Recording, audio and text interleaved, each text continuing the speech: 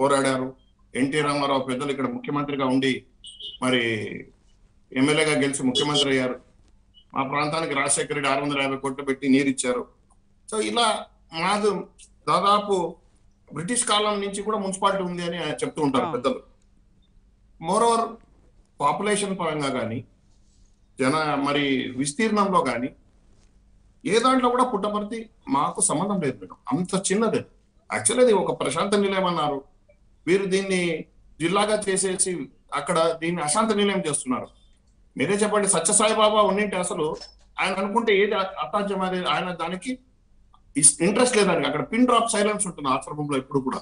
శాంతి ఉంటుంది. సో వీళ్ళు దాన్ని అక్కడ జిల్లా చేయడంతో మొత్తం ఒక డిస్టర్బ్ అయిపోతుంది. ఇది ఒక లాబింగ్ జరిగింది అంటాను మేడం. రాజకీయ లాబింగ్ అనాలో. ఇక్కడ బాలకృష్ణ ఎమ్మెల్యే ఉన్నారనే ఒక ఉద్దేశంతో ఇక్కడ ఇలా చేస్తున్నారో మాకైతే అంటే. బాలకృష్ణ గారు కేవలం బాలకృష్ణ గారు ఎమ్మెల్యేగా ఉన్నారనే హిందూపురాన్ని హెడ్ క్వార్టర్గా ప్రకటించలేదంటారా?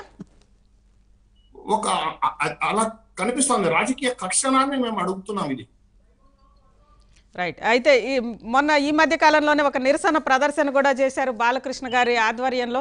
ఏంటి ఇప్పుడు మీ కార్యాచరణ ఏంటి? ఎందుకంటే ఇక కొత్త జిల్లాలకు సంబంధించి ప్రణాళికా సంఘం సమావేశాలు కూడా ప్రారంభమయ్యాయి. రేపు వాళ్ళు చెప్పిన ఈ గజిట్ ప్రకారం పుట్టపర్తి హెడ్ క్వార్టర్గా హిందూపురం జి సత్యసాయి జిల్లా అందామా? సత్యసాయి జిల్లా కూడా అమల్లోకి రాబోతోంది. ఈ నేపథ్యంలో ఏంటి మీ కార్యాచరణ ఏంటి. చాలా అన్యాయం ఇది. బాలకృష్ణ గారు రాజీనామా చేస్తానని కూడా ప్రకటించారు. నాదే మీకు ఇబ్బంది అయితే నేను రాజీనామా చేస్తానన్నారు. మరి మున్సిపల్ కౌన్సిల్లో కూడా తీర్మానం జరిగింది. కొన్ని వేల లెటర్లు మేము కలెక్టర్ గారికి మేము హ్యాండ్ ఓవర్ చేస్తాం. రాష్ట్రంలోనే అత్యంత లెటర్లు ఇక్కడ అబ్జెక్షన్స్ పుట్టపర్తి పైన చేస్తూ ఇవ్వడం జరిగింది. ఏ దానికి కూడా మాకు పుట్టపర్తి సార్ ఆధ్యాత్మికంగా పోయినా కూడా మాకు లేపాక్షి ఉంది బిడ్డ. ఏం బేసెస్ చేసుకుంటున్నారు? వాళ్ళు ఎవరైనా డిబేట్కి వస్తే మహానుభావులు మేము డిబేట్ చేసేదానికి రెడీగా ఉన్నాం. ఇక్కడ వైసీపీ నాయకులు కూడా మాకు సపోర్ట్ చేస్తున్నారు మేడం. రాజీనామాలు చేయమని మేము మనల్ని డిమాండ్ చేసాం అందరూ మీరు రాజీనామా చేసేసేయండి మీరు న్యాయం చేయనప్పుడు ఎవరు దీనికోసం పోరాడతారో వాళ్ళ వాళ్ళ స్థానాల్లో మిమ్మల్ని గెలిపిస్తాం. బాలకృష్ణ రాజీనామా చేయాలి ఎమ్మెల్సీ ఎక్బాల్ రాజీనామా చేయాలా చైర్మన్ కౌన్సిల్స్ ఎంపీటీస్ అందరూ మీరు రాజీనామా చేసి రండి అని కూడా మేము పిలిపించాం మేడం. రైట్. నిరాహార దీక్ష పెద్ద ఎత్తున జరుగుతా ఉంది మేడం. ప్రతి రోజు నిరాహార దీక్షలు ఉద్యమాలు రాష్ట్రోకోలు బందులు ప్రతి ఒక్క రోజు కార్యాచరణ ప్రజలు స్పందించి చేస్తూ ఉన్నారు కార్యాచరణ. రైట్ ఇక కొలిక్పూడి శ్రీనివాస్ గారు జాయిన్ అయ్యారు. శ్రీనివాస్ గారు. శ్రీనివాస్ గారు. రైట్ అజిత గారు గుడ్ ఈవినింగ్ అండి. Good evening good evening sir ఏంటి చూశారు కదా మనం వరుసగా మూ మూడు ప్రాంతాలతోటి మాట్లాడాము. ముఖ్యంగా కందుకూరు కానీ రాజంపేట కానీ హిందూపురం కానీ అందరూ కూడా వాళ్ళ ఉద్యమాలు కంటిన్యూ అవుతున్నాయి. వాళ్ళందరూ ఒకటే మాట అంటున్నారు. ఎమ్మెల్యేలు అందరూ కూడా రాజీనామా చేస్తే మిమ్మల్ని మేము గెలిపించుకుంటాము మీరు రాజీనామా చేయండి అని చెప్పి అడుగుతా ఉన్నారు. ఏంటి ఈ జిల్లాలో ఎన్ని అభ్యంతరాలు వ్యక్తమైనా ఏమైనా కానీ అమలు కొత్త జిల్లాలననేది ఇక అమలు రేపు ఉగాది నుంచి ప్రారంభ ప్రారంభం అనేది ఖచ్చితంగా తెలిసిపోతుంది. ప్రణాళికా సంఘం కూడా దానికి తగ్గ ఏర్పాట్లు చాలా శరవేగంగా చేస్తుంది. ఏంటి నేపథ్యంలో ఏం చేయాలంటారు వీళ్ళందరూ? జిల్లాల ప్రకటన చేసినప్పుడే లోక్సభ నియోజకవర్గం ప్రాతిపదికగా జిల్లా ఏర్పాటు చేయటం అనేది శాస్త్రీయం కాదు అని చెప్పి అందరం చెప్పామండి.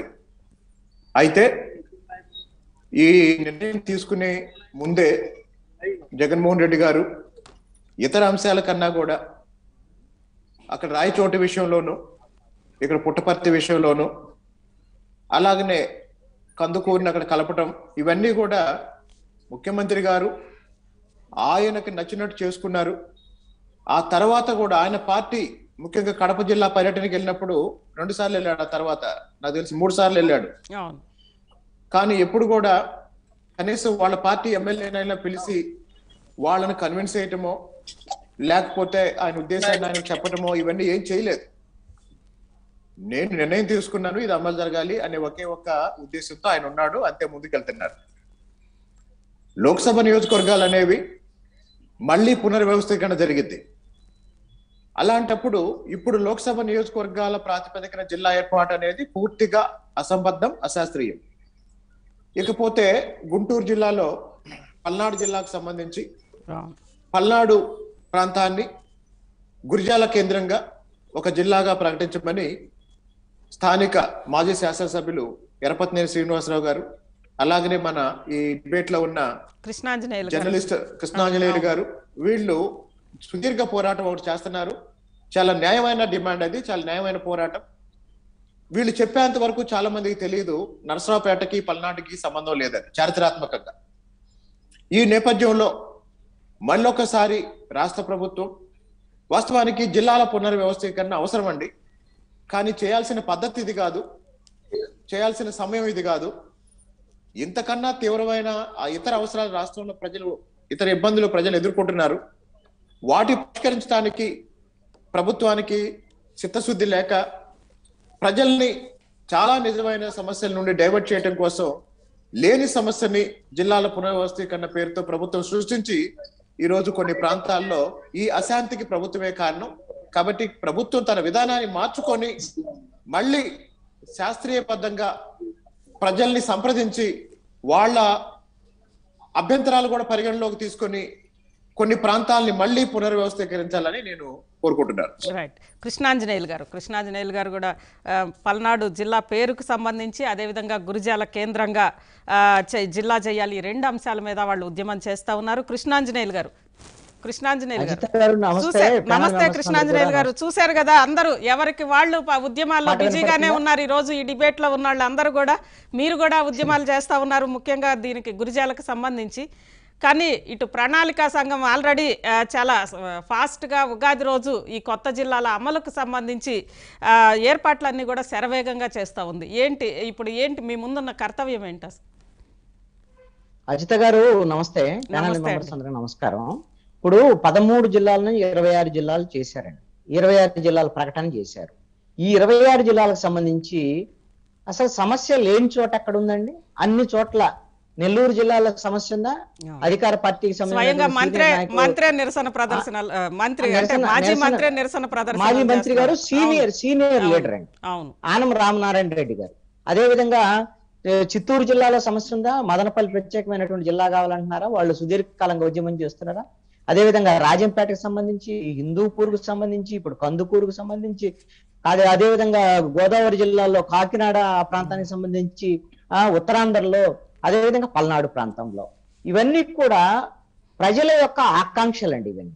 రా ఏదైనా సరే ప్రజాస్వామ్యంలో ప్రజల యొక్క ఆకాంక్షలకు అనుగుణంగా పాలన ఉండాలి. ఈ రోజున ప్రభుత్వము ఒక రెవెన్యూ శాఖ ద్వారాగా నోటిఫికేషన్ జారీ చేసింది. ఇరవై ఆరు జిల్లాల ప్రతిపాదనకు సంబంధించి. మరి ఇరవై ఆరు జిల్లాల ప్రతిపాదన మీద అభ్యంతరాలు ఉంటే మీ సూచనలు సలహాలు ఉంటే తెలియజేయండి అని చెప్పేసి అడిగారు. అందరూ కూడా ఈ రోజున అన్ని వాళ్ళ కలెక్టరేట్లకు వెళ్ళి నిరసనల రూపంలో కొంత తెలియజేశారు ర్యాలీల ద్వారా తెలియజేశారు ఈ రోజున దీక్షల ద్వారా ఇంకా తెలియజేస్తున్నటువంటి పరిస్థితి ఉంది. వాళ్ళకు కూడా రిప్రజెంటేషన్స్ ఇచ్చారు. మరి కనీసము ఈ విధమైనటువంటి ఆ అభ్యంతరాలని రాష్ట్ర ప్రభుత్వం అసలు పరిగణనలోకి తీసుకుంటుందా తీసుకోదా? లేదు మేము ప్రకటన చేశాం కాబట్టి మేము చేసిన దానికి అనుగుణంగా మీరు అందరూ కూడా తల వంచుకొని ఉండాల్సింది అనేటువంటిది ఏమన్నా నియంతృత్వంగా వ్యవహరిస్తా? ఇదేమన్నా ప్రజాస్వామ్యమా? నియంతృత్వం అండి. పల్నాడు ప్రాంతానికి సంబంధించి పద్నాలుగు నెలలుగా ఆ ప్రాంత ప్రజలందరూ కూడా మాది చారిత్రక నేపథ్యం కలిగినటువంటి పల్నాడు ప్రాంతం. తొమ్మిది వందల సంవత్సరాల క్రితమే స్వయం పాలిత ప్రాంతంగా ఉంది. చాపకూడి సిద్ధాంతం అనేటువంటిది దేశవ్యాప్తంగా ప్రాంతం. అవును. కుల మతాలకు అదే అదే విధంగా బ్రిటిష్ కాలంలోనే మేము పుల్లరి కట్టమని చెప్పేసి బ్రిటిష్ తోటాలు ఎదురొడ్డి పోరాడినటువంటి కన్నెగంటి అనుమతి పుట్టినటువంటి ప్రాంతం అండి అది. ఆ ప్రాంతంలో ఈ రోజున మాది మాకు సంస్కృతి సంప్రదాయాలు వేరు అభివృద్ధి విషయంలో కూడా మిగతా ప్రాంతాలకు భిన్నంగా ఉన్నాము అభివృద్ధికి ఆమడ దూరంలో ఉన్నాము. ఈ ఏడున్నర దశాబ్దాల కాలంగా ఈ గు- గుంటూరు అనేటువంటి జిల్లా కేంద్రానికి దూరం ఉండటం వల్ల చాలా ఇబ్బందులు గురి గురయ్యాం పరిపాలన పరంగా. ఇప్పటికైనా సరే గురిజాల మాచర్లకు సంబంధించినటువంటి నియోజకవర్గాలను ప్రత్యేకమైనటువంటి జిల్లాగా ఏర్పాటు చేయమని ఎంత పద్నాలుగు నెలలుగా ఉద్యమం చేస్తుంటే ఈ ప్రభుత్వం ముందు చెవిటి వాని ముందు చెంక ఊదినట్టు అయిపోయిందండి. కనీసం ఖాతరు చేసినటువంటి పరిస్థితి లేదు. ఇందాక మిత్రులు చెప్తున్నారు కదా రాజంపేటలకు సంబంధించినటువంటి ఎమ్మెల్యేలు లేకపోతే మాజీ మంత్రులు అదే విధంగా ఇప్పుడు పల్నాడు ప్రాంతంలో కూడా ఇద్దరు మంత్రులు ఉన్నారు. మాచర్ల గురిజాల నియోజకవర్గంలో. ఇద్దరు కూడా వైసీపీ ఎమ్మెల్యేలు ఉన్నారు. మరి వాళ్ళు కూడా మేము ప్రభుత్వానికి ఆ, విజ్ఞప్తులు చేసామని అంటారు. మరి అసలు వాళ్ళ ఎమ్మెల్యేలు విజ్ఞప్తులే ప్రభుత్వం పట్టించుకోకపోతే వాళ్ళకు గోడే ఆలకించినటువంటి పరిస్థితి ఉంటే అసలు వీళ్ళు విజ్ఞప్తి చేస్తున్నారా? లేకపోతే ప్రజలు మోసం చేస్తున్నారా? ఈ విధంగా మేము ప్రభుత్వాన్ని అడుగుతున్నామని. ఇక్కడ ఇంకొక అంశం కృష్ణాంజనేయులు గారు. కందుకూరుకి సంబంధించి ఇందాక ప్రసాద్ గారు చెప్పారు ఆయన నిరాహార దీక్షలో ఉంచి ఉండి. ఆ, కందుకూరు ఎమ్మెల్యే మహిదర్ రెడ్డి గారు కనీసం మూడు సార్లు అపాయింట్మెంట్ కోరితే దాదాపు లేఖలు రాసి రాసి అపాయింట్మెంట్ కోరి- కోరితే మూడు సార్లు ఇచ్చినట్టే ఇచ్చి రద్దు చేశారంట. ఆయనకు అపాయింట్మెంట్ కూడా ఇవ్వలేదంట అసలు. ఎమ్మెల్యేలకి ఆ మంత్రులకే ఈ రోజున అపాయింట్మెంట్ లేదండి కేవలము ఎమ్మెల్యేలు వీళ్ళందరూ కూడా అసెంబ్లీ ఎప్పుడు జరిగినప్పుడు అసెంబ్లీ దైవ దర్శనం చేసుకున్నట్టుగా చేసుకోవడం తప్ప ఇంకో అవకాశం లేదు ఈ రోజున ప్రజల తరపున ఎన్నికైనటువంటి ప్రజాప్రతినిధులు ప్రజల యొక్క అభిప్రాయాన్ని తెలియజేయడానికి కూడా ముఖ్యమంత్రి గారు అవకాశం ఇవ్వకపోతే ఎందుకంటే ఈ జిల్లాలు చేసి మీరు అంటున్నారు రేపు ఉపాధి కల్లా జిల్లా ప్రకటన చేస్తామని. ఆ జిల్లా సంబంధించినటువంటి కొత్త కలెక్టర్ ప్రకటిస్తారనుకోండి ఆయనకు రావడానికి కూర్చోవడానికి ఒక ఏదో ఒక ఆఫీస్ ఎంఆర్ఓ ఆఫీసులో ఒక మూలలో కూర్చోబెడతారని తెలియదు. ఇవన్నీ హడావుడిగా చేసి ఏం చేయాలనండి? ఏంటి ఈ విధంగా ఇరవై పదమూడు జిల్లాలు ఇరవై ఆరు జిల్లాలు చేసేసారు అయిపోయింది. ఏదో ఒక కలెక్టర్లు ప్రకటన చేశారు. ఏం సాధిస్తారు దీనివల్ల? దీనివల్ల ఏమైనా సాధించేది ఏమైనా ఉంటుందా? ఇక్కడ ఒకటి ఇందాక శ్రీనివాస్ గారు చెప్పినట్టుగా రెండు వేల ఇరవై ఆరులో దేశవ్యాప్తంగా ఉండేటువంటి పార్లమెంట్ కాన్స్టిట్యున్సీలన్నీ కూడా మరి పునర్విభజన జరుగుతాయండి. ఇది దేశవ్యాప్తంగా ఉన్నటువంటి ప్రక్రియ. మరి మన మన రాష్ట్రంలో ఉండేటువంటి ఇరవై ఐదు పార్లమెంట్ కాన్స్టిట్యున్సీలు కూడా పెరగొచ్చు రేపొద్దున తగ్గవచ్చు. పెరగ పెరిగేటువంటి అవకాశం ఉండదు. మరి అప్పుడేమైనా మళ్ళీ జిల్లాలు మారుస్తారండి? ఈ విధమైనటువంటి అసలు పరిస్థితి ఏంటండి? అసలు ఈ రోజున మీ అభ్యంతరాలు తీసుకున్నప్పుడు కనీసం ఏంటి మీ అభ్యంతరాలు ఏంటి? మీ వ్యవహారం ఏంటి? అని కనీసం ఆ సంబంధించిన అది అధికారులు వచ్చి వాళ్ళ అభిప్రాయాలను తీసుకొని దాన్ని పరిశీలించేటువంటి పరిస్థితి ఉండాలక్కర్లేదా? జగన్మోహన్ రెడ్డి గారు ప్రతిపక్ష నాయకుడిగా పాదయాత్రలో హామీ ఇచ్చారు. ఏమిటి? పార్లమెంటు నియోజకవర్గాల మొత్తాన్ని జిల్లాలు చేస్తామని చెప్పేశారు. పార్లమెంటు జిల్లా నియోజకవర్గ కేంద్రాల మొత్తాన్ని జిల్లా కేంద్రాలు చేస్తా ఉన్నారు. ఇంక నేను చెప్పాను కాబట్టి చేసేస్తాం. ఇంకంతే. ఇక వేరే మాట్లాడు. అంటే ఇదేమన్నా రాచరికమా లేదా ప్రజాస్వామ్యమా పోనీ అలాగా చేశారా అని అంటే మరి అన్ని పార్లమెంటు కేంద్రాలు మొత్తాన్ని జిల్లా కేంద్రాలు చేస్తారా మరి హిందూపురం మరి రాజంపేట సంబంధించినటువంటి ఈ గొడవలు కానీ మిగతా ఎందుకు వచ్చినాయండి ఈ గొడవలు ఇది అసలు. కడప జిల్లాలో జగన్మోహన్. రెడ్డి గారి సొంత జిల్లాలో అక్కడ కూడా ఈ విధమైనటువంటి అభ్యంతరాలు వస్తున్నటువంటి పరిస్థితి ఉంటే కనీసం ప్రతిపక్షాలలో మాటలు వినరండి. ప్రతిపక్షాలలో వాళ్ళు చెప్పేది వినరు వాళ్ళు చెప్పింది ఆలకించరు ఖాతరు చేయరు. మేము వినాల్సినటువంటి అవసరం లేదు మాకు నూట యాభై ఒక్క మంది ఎమ్మెల్యేలు ఉన్నారని అన్నారు. కనీసం మరి అధికార పార్టీ ఎమ్మెల్యేలు అధికార పార్టీ సంబంధించిన మాజీ మంత్రులు మంత్రులు మాట్లాడలేనటువంటి పరిస్థితి చాలా మంది మాట్లాడలేకపోతున్నాడు భయపడుతున్నారు. మాట్లాడేటువంటి వాళ్ళ యొక్క విజ్ఞప్తులన్నా వినాలి కదండి కనీసము. వాళ్ళ గౌరవం అన్న కాపాడాలి కదండి ప్రజాప్రతినిధులుగా? వాళ్ళు ఒక ఎమ్మెల్యే అంటే సుమారుగా రెండున్నర లక్షల మంది మూడు లక్షల మంది ఓట్లు వేస్తే గెలుస్తారు. ఒక ఎంపీ ఉంటే. పదహారు లక్షల మంది పద్దెనిమిది లక్షల మంది ఓట్లు వేసి గెలిచినటువంటి ప్రజాప్రతినిధి అండి. అలాంటి ప్రజాప్రతినిధికే ముఖ్యమంత్రి గారు అపాయింట్మెంట్ లేదు. ఈ రోజున జిల్లాల గోడు పట్టించుకున్నటువంటి పరిస్థితి ఉంది. మేము పల్నాడు నుంచి ఒకటే చెప్తున్నామండి. మహా టీవీ ద్వారాగా ముఖ్యమంత్రి గారికి నా ఈ ఇరవై ఆరు జిల్లాలని మీరు ముప్పై మూడు జిల్లాలు చేసుకోండి ముప్పై ఆరు జిల్లాలు చేసుకోండి. మాకు అభ్యంతరం లేదు. పల్నాడు ప్రత్యేక జిల్లాగా ప్రకటించకపోతే మళ్ళీ జిల్లాలకు సంబంధించినటువంటి ప్రక్రియగా మీరు మేము ఏర్పాటు చేస్తాం ప్రారంభిస్తామనంటే మాత్రం పల్నాడు ప్రాంత ప్రజలందరూ కూడా తిరుగుబాటు చేస్తారు. ముఖ్యమంత్రి కార్యాలయం ముట్టడించడానికి కూడా సిద్ధంగా ఉన్నాం అని చెప్పేసి మహా టీవీ ద్వారా రాష్ట్ర ప్రభుత్వాన్ని రైట్ కృష్ణాంజనేయులు గారు. మహా డిబేట్లో ఇప్పుడు చిన్న బ్రేక్ తీసుకుందాం.